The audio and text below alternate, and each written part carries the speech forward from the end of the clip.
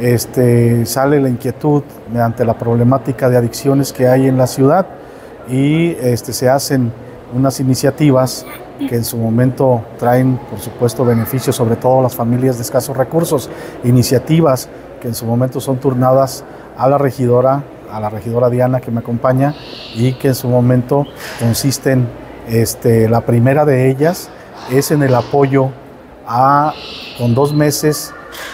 a la reclusión de personas con problemas de adicción. Esto es para familias de escasos recursos, en un proceso de seis meses, en donde dos meses apoya el gobierno municipal, dos meses el centro de rehabilitación o clínica en adicciones y dos meses la familia. Como ya lo menciona mi compañero Ernesto, esta iniciativa surge de la problemática que existe en la ciudad y en toda la región sur en tema de adicciones, principalmente en tema de la juventud.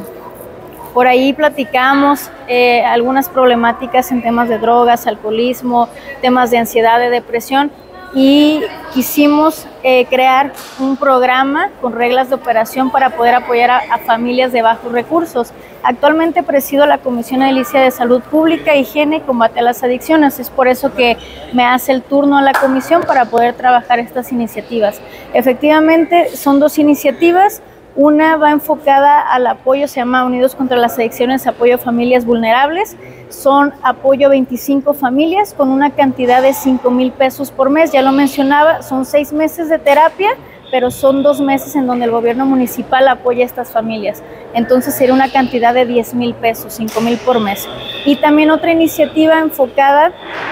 a apoyar a grupos de autoayuda en especie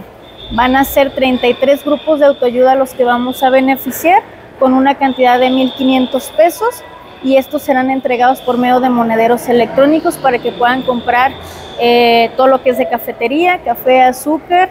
eh, algunos vasos y demás para todos los centros de, de, autoayuda como tal.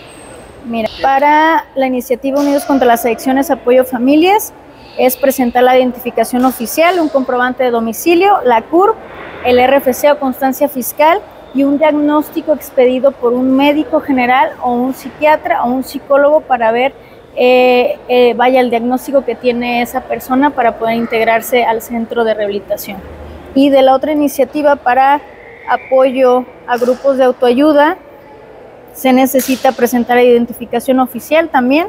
constancia de situación fiscal por el SAT, comprobante de domicilio, un contrato de arrendamiento del lugar donde ofrecen el servicio de autoayuda como tal, una fotografía de la fachada como evidencia